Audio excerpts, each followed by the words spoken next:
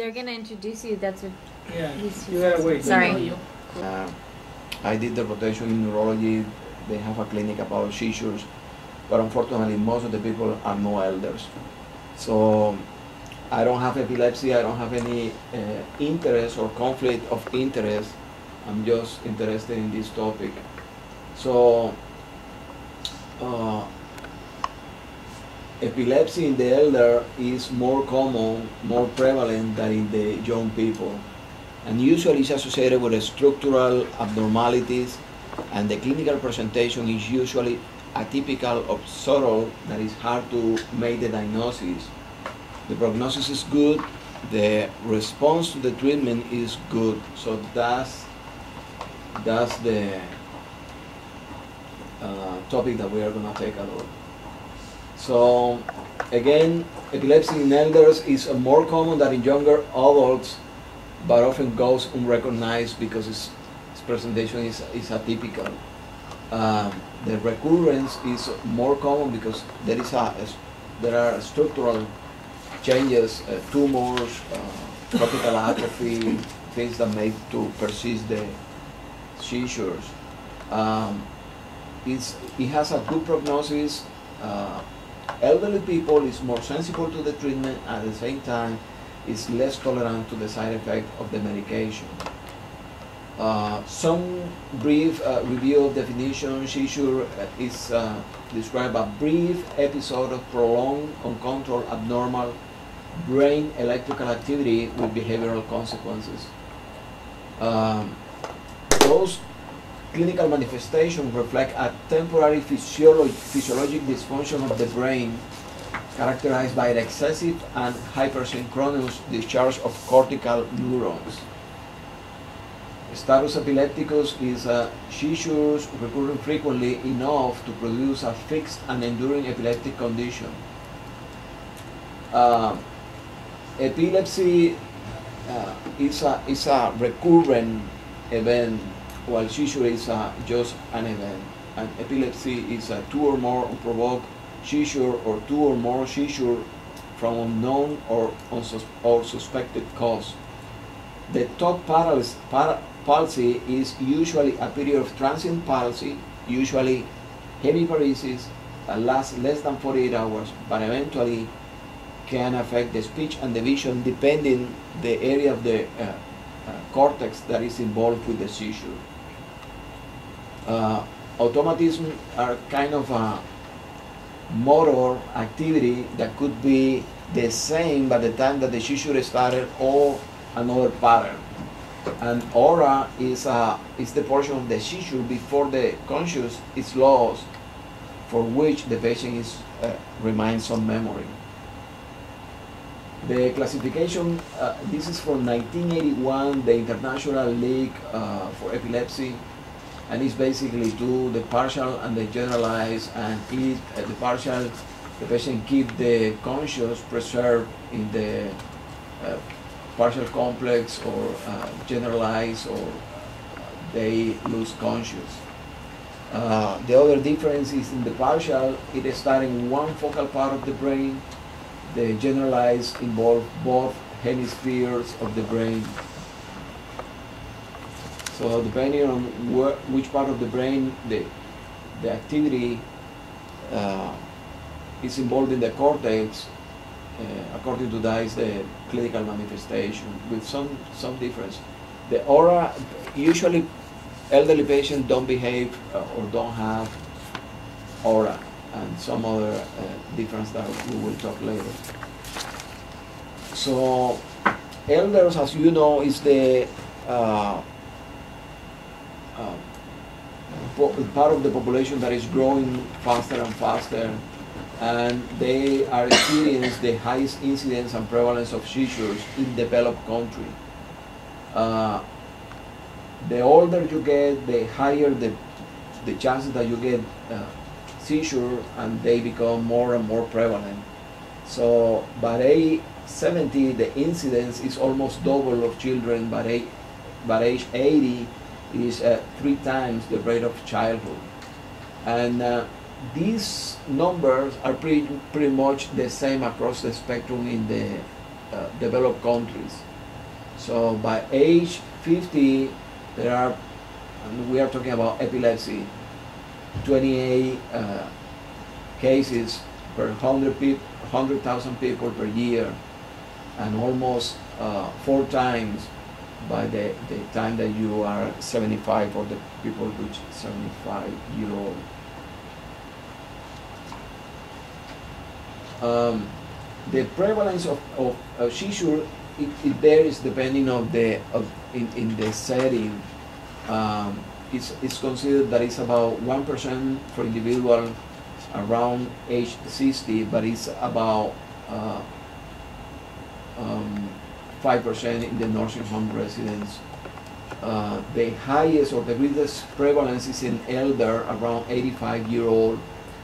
That is the most rapidly increasing population in the United States. And the recurrence rate is, goes from 40% to more than 90% if not treated. Uh, one barrier for the treatment is underdiagnosis, misdiagnosis that is pretty frequent in the elderly population. The most common cause for uh, seizures in the elder is uh, cerebrovascular disease, about 50%.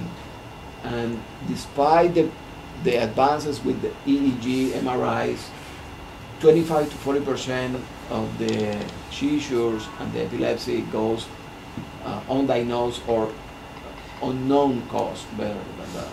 Cryptogenic seizures, 25 to 40 percent, despite the workout. Um,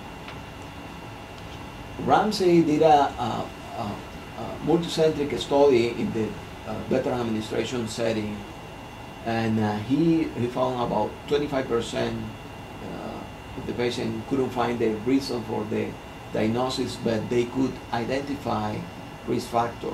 60%, uh, 60% of them had hypertension, uh, about 34% strokes, ischemic strokes, 50% uh, had arteriosclerosis, 7% had trauma, and 2% had a hemorrhage, intracranial hemorrhage. The patient with a stroke uh, in general have a seizure or could develop seizure in the three months to one year after that on average. But some cases has been associated up to 14 years after the, the stroke. So keep in mind that eventually could be acute causes for seizures and uh, some risk factor for uh, epilepsy that is uh, recurrent seizures. Uh, we are going to take a, a little bit closer look on drugs. Um, dementia, especially Alzheimer's dementia, is associated with uh, with uh, epilepsy, and uh, seems that uh, cortical atrophy is associated with uh, uh, epilepsy. So we, we can see a lot of drugs that we use in, in our regular practice eventually patients with uh, dementia, mental problems, uh, cognitive problems, we will put in tricyclics or SSRIs. Uh, we use a lot of Haldol in patients with uh, delirium. Um, still theophylline is, is eventually we find patients on theophylline. Um, other than that, of course, the Benadryl can be out of the list and uh, uh, Phenergan. Verapamil, propranolol has been associated with uh, overdose and, uh, and seizures. In the elderly, the most common seizure types are partial seizures, followed by simple or complex seizure, partial seizures, and then generalized These kind of uh, presentation reflect a focal uh, structural pathology in the brain. Um, the complex partial seizures are more common and generalizing about 25%. Uh, complex partial seizures are likely temporal or frontotemporal lobe uh, with simple motor or sensorial symptoms. The auras is less common than in the young patient, but eventually can behave as just dizziness. Um, automatism is, uh, is less evident, the motor uh, automatism, but eventually patient could have gap in the conversation or just confusion or just altered mental status or just blank stare. And the post-ictal confusion state could last hours, days, or even weeks. So sometimes we will, we will be consulted because the patient is confused or with altered mental status. And this uh, table just compare the presentation between the young adult and the young people and the elders. The localization is different uh, and the presentation is, is uh, more uh, subtle. Because of, of the presentation, is is hard to do the diagnosis. In the cooperative study that is uh, that, that is the PACS study, they found that only, I think that is a decent number, only 75, 73% of the PCP suspect the diagnosis of, seizures in their patient. But on the other side, uh, the initial diagnosis was altered mental status, blackout spells, syncope 70%, dementia, confusion, memory disturbance, dizziness, so when the patient is confused, when the patient has memory problems, a lot of time we are either biased uh, to the cognitive problem, dementia, rather than seizure. So because of this unclear, subtle presentation, the diagnosis is delayed. In average, is two years. 1.7 is in this paper. Uh, the, the, the full-blown general generalized tonic-clonic seizure is infrequent. It's about a quarter of the presentation. Um, the, the seizures can behave as uh, again as delirium, dementia, TIA, hypoperfusion syndromes, um, vasodepressor episodes, some metabolic like hypoglycemia, hyponatremia, sepsis, adverse effect, adver- ad- drug, adverse drug effects. So because of this, again and again, it's hard to make the diagnosis. Besides, 30% of the patients with seizures are not aware that they have seizures. The EEG, that is uh, kind of the gold standard, is, uh, is not specific for seizure. So it could be normal in a third uh, of the population. Uh, people with seizure related to strokes would have documented in the EEG about 10 to 20 percent. The same for cerebral tumors and uh, interictal activity that can be recorded in the EEG about a quarter to 40 percent.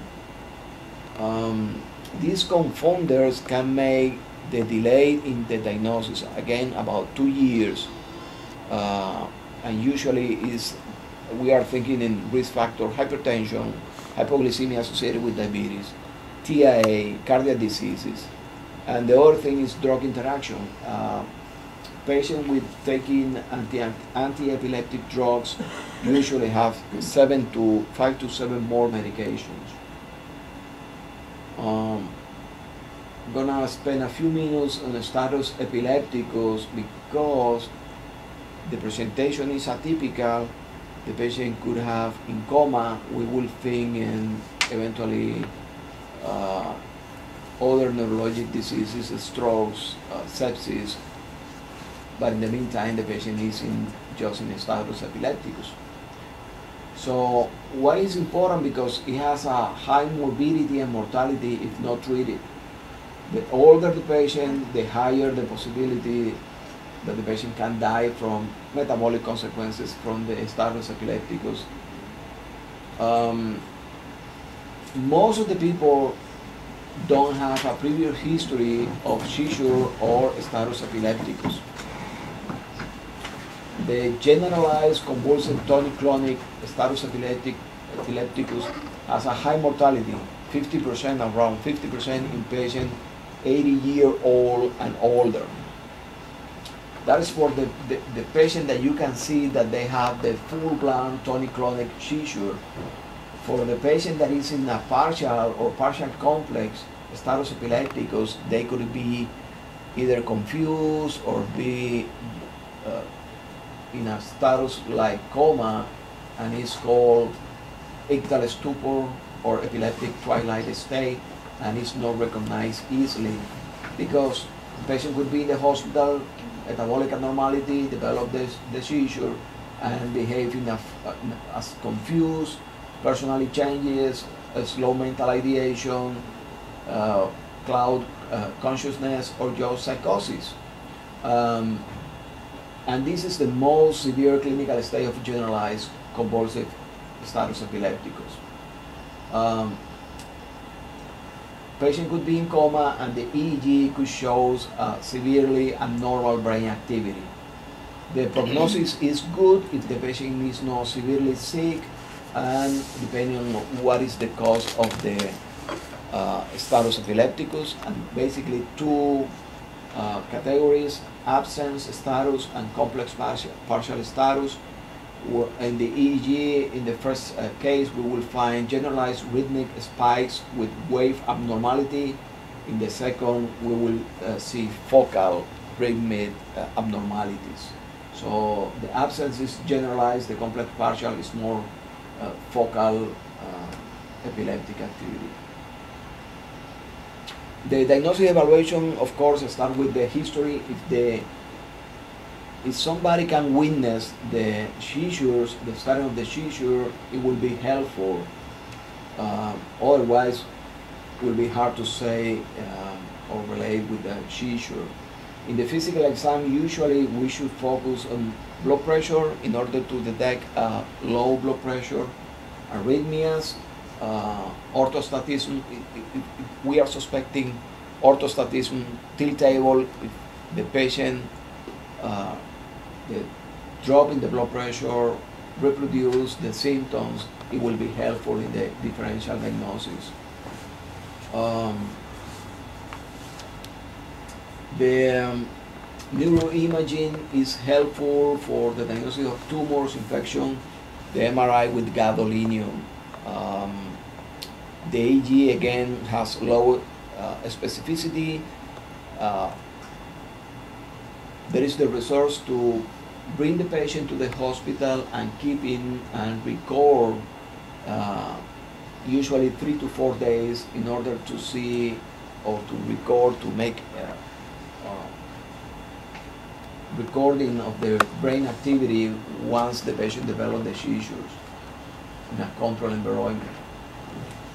So the, the, the differential diagnosis is kind of why The syncope uh, in the patient, in the elderly patient, could behave with incontinence.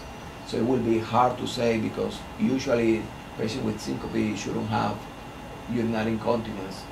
So that will be hard to say in, once the patient is elderly.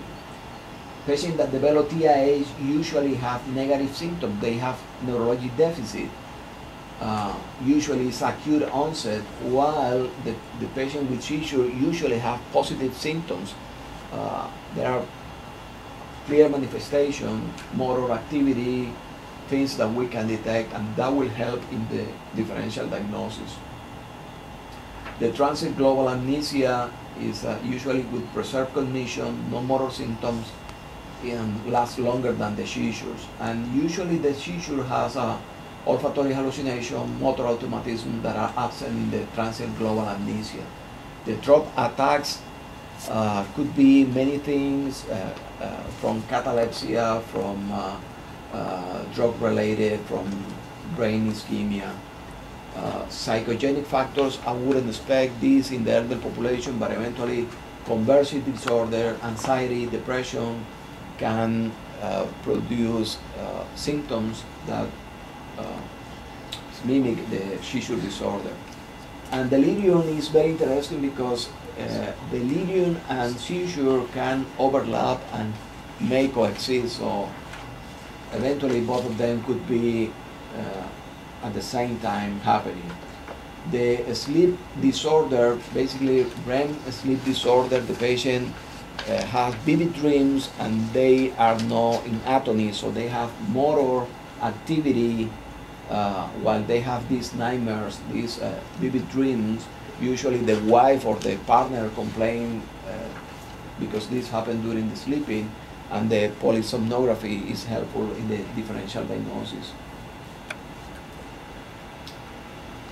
um, epilepsy means that the patient will have is a chronic uh, syndrome.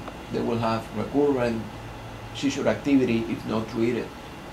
Again, is a patient older than 60 years old, usually is uh, around 40% to more than 90% if not treated.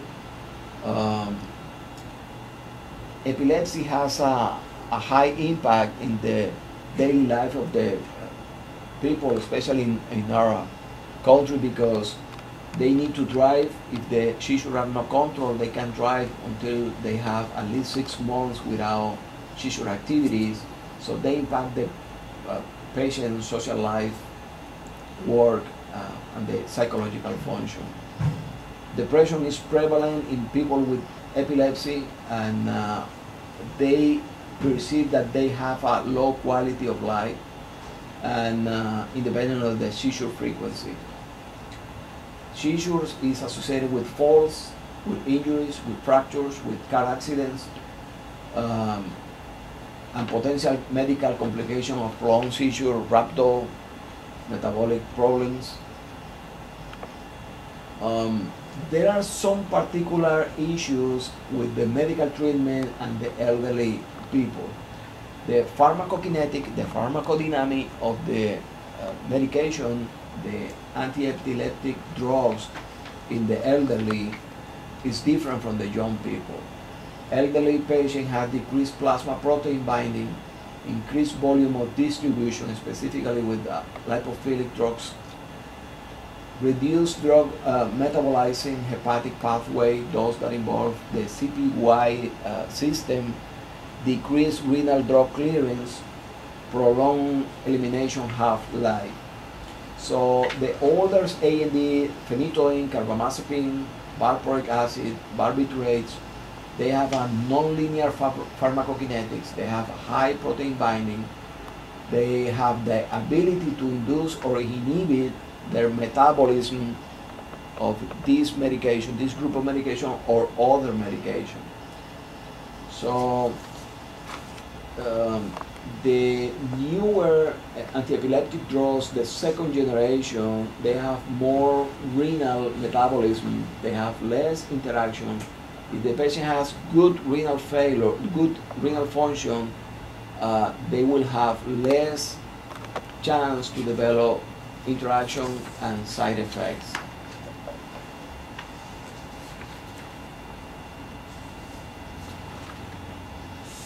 What are we looking in a in a medical treatment for the patient with seizure is that is a, a medication that it, that it has a high tolerability, lack of drug interaction and good cognitive profile because we don't want the patient to be drowsy on the medication.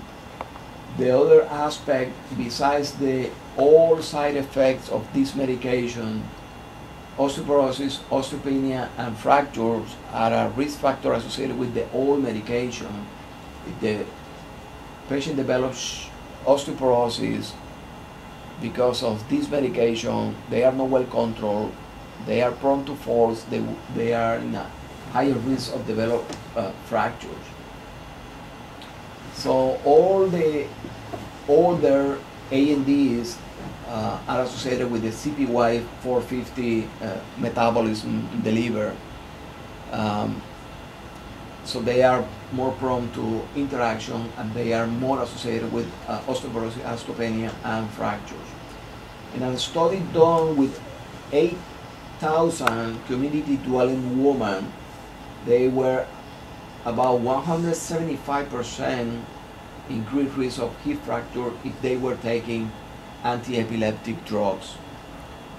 Phenytoin is the most prescribed uh, anti-epileptic drugs.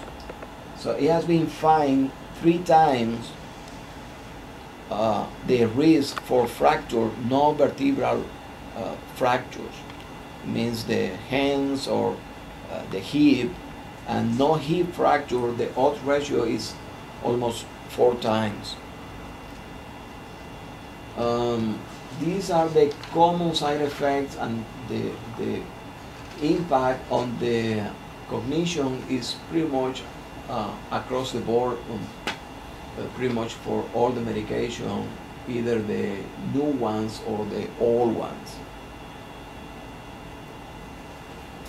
This is uh, just to review briefly the uh, interaction with other medication. It's still uh, cimetidine around and uh, it has interaction with phenytoin that is the most common old antiepileptic drug uh, prescribed. Uh, and besides that, also uh, antacids, pretty much antacid interact with the, most of the old medications, some of the new ones. Uh, Birnbaum, Birnbaum did a, did a study with 57 uh, consecutive patients in a nursing home and he checked the, the level uh, of the phenytoin on this patient receiving the same dose of medication. And they found that the patient developed two to three times uh, the safe uh, level of medication. So a lot of them, even though they were receiving the same amount of medication every day, developed toxic level of the medication. Um, that means that we shouldn't change or, or adjust the dose of this medication with just one uh, level measure. And the other thing is that we need to adjust the dose according to the creatinine clearance. About 10% of the elderly nursing home residents take one or more anti-epileptic drugs.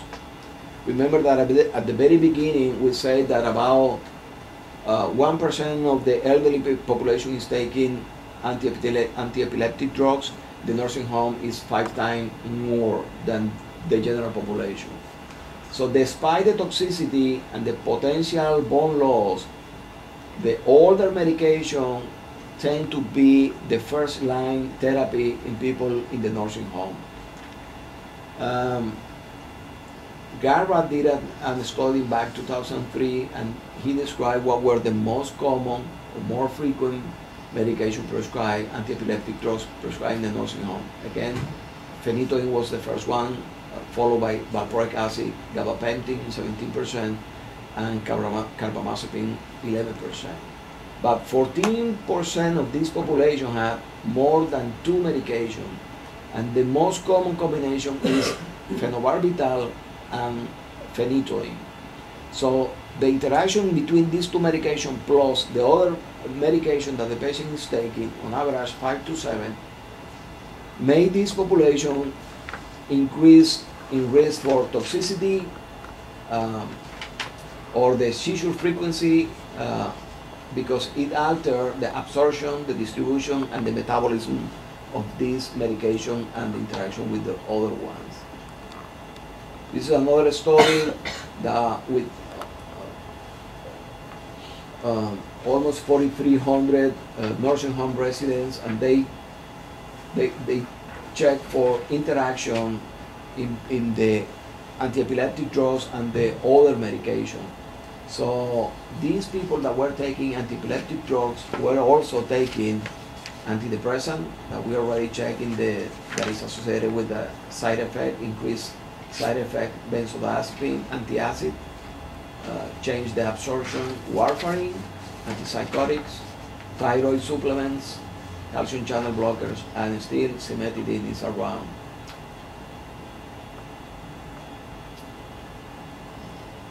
In, in the States, some authors are very uh, enthusiastic about the new, uh, the second generation of anti-epileptic drugs. But this is a study that was done in uh, United Kingdom, and they are skeptic about these medication are uh, the panacea. Maybe because the experience is so limited so far, uh, they have a better profile, less uh, toxicity. But what they trying to um, convey is that more head-to-head trials needs to be done, double, double blind trials, in order to see which one is better because these new medications are more expensive. It would be expected that they are better because they have more uh, kidney uh, elimination, but it's still early to say that. The future directions in the treatment of elderly is uh, again head-to-head double-blind studies in both uh, this population using newer uh, anti-epileptic drugs. Uh, no studies have examined the anti-epileptic drugs withdrawal in the in the elderly because there are a lot of new knowledge in vitamin D in the treatment of osteoporosis. Uh, it would be important to study how bone density can be improved in the patients that are taking anti-epileptic drugs. The surgical treatment that is temporal lobectomy for uh, patients that are refractory to the medical treatment has been reserved for younger people. And what is expected is that elderly people with refractory seizures or epilepsy be involved in this trial where they can benefit from uh, surgical treatment. The vagal nerve stimulator is, is still uh, some small studies, 50 patients, around 50 patients, but it seems to be uh, of benefit because it can reduce the rate of seizures, prolong the period where the patient will be free of seizure, and eventually improve the quality of life. Uh, eventually, the drug interaction could be diminished. The patient will have the cognitive side effect of this medication. The patient will have the sensation that he has control over the disease. They don't have to take the medication, just the. But there is there is some problem uh, where to put the electrodes, the localization of the uh, focal seizure activity in the brain so far. So in summary, what is important to learn? Why is so important to learn about epilepsy in the elderly? In the elderly, epilepsy is more common, cause more structural and symptomatic. Causes are more structural and more symptomatic than in the younger. Diagnosis is more difficult and often delayed. Most commonly, uh, seizure events are simple partial, complex partial, and extratemporal in location. Confusion, memory problems are common symptoms, and post-ictal deficits are often prolonged. Prognosis is generally favorable is if treated, if the patient is diagnosed and treated. Seizures in this group of people respond well to lower dose of anti-epileptic drugs, and patients are more sensitive or less tolerant to the side effects at lower dose than younger adults. So start low and keep low in this group of people. Basically, there is a good review in, uh, in the uh, medical uh, medical clinic of North America, and uh, one the study that a lot of study has been done in, uh, the VA setting, uh, and uh, one of them is uh, published in January this year in the Annals of Long-Term Care. This this is a nurse and PhD that is working here in the verdict, and the rest of the literature is from up to date that it has pretty much recently reviewed December. They this month they will release an updated review of the of the literature. Thank you. No. I just wanted one thing to. Uh, would you say, since there's such a big differential diagnosis, would you say that epilepsy elderly, if it's not tonic-clonic seizures per se, is a diagnosis of exclusion? I won't say so. Um, I think that we need to have a low threshold for the diagnosis. And uh, what I'm trying to do is not to jump in uh, cognitive problems once the patient is uh, changing behavior.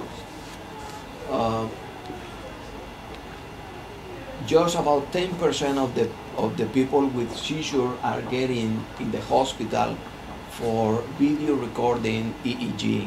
So I think that what we need to change is our um, awareness about this uh, kind of problem because it's, it's pretty frequent and eventually will be more frequent um, because this is the fastest growing population. So eventually we will have more and more elderly people in uh, higher risk of having seizure, but we probably are more focused in behavioral changes rather than structural changes that are behaving with uh, organic problem seizure specifically.